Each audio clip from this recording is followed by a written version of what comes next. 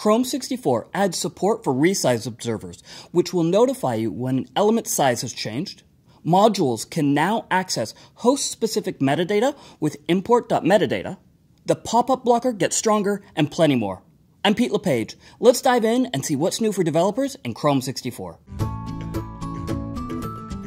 Tracking when an element's size has changed can be a bit of a pain. Most likely, you'll need to attach a listener to the document's resize event, then call getBoundingClientRect or getComputedStyle. But both of those can cause layout thrashing. And what if the browser window didn't change size, but a new element was added to the document? Or you added display none to an element? Both of those can change the size of other elements within the page. Resize Observer notifies you whenever an element's size changes and provides the new height and width of the element, reducing the risk of layout thrashing.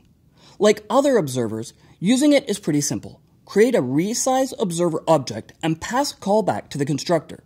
The callback will be given an array of resize observer entries, one entry per observed element, which contains the new dimensions for the element. Check out Surma's post for more details and real world examples. I hate tab unders. You know them. It's when a page opens a pop up to some destination and navigates the page. Usually, one of them is an ad or something you just don't want.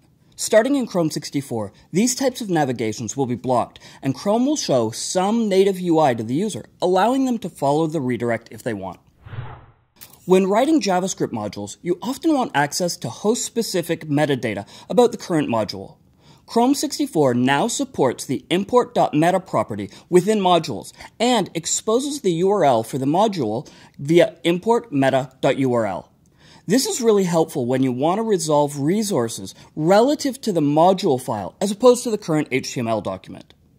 These are just a few of the changes in Chrome 64 for developers. Of course, there's plenty more. Chrome now supports named captures and regular expressions. The default preload value for audio and video elements is now metadata. This brings Chrome in line with other browsers and helps to reduce bandwidth and resource usage by only loading the metadata and not the media itself. You can now use request.prototype.cache to view the cache mode of a request and determine whether the request is a reload request. And using the Focus Management API, you can now focus an element without scrolling to it with the Prevent Scroll attribute. Oh, and one more. While this isn't really a developer feature, it makes me happy. Window.alert no longer brings a background tab to the foreground. Instead, the alert will be shown when the user switches back to that tab. No more random tab switches because something fired a window.alert on me. I'm looking at you, Google Calendar. All the details, including links to docs and specs, are in the description below.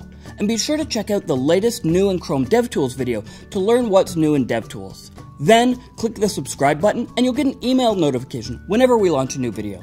I'm Pete LePage, and as soon as Chrome 65 is released, I'll be right here to tell you what's new in Chrome.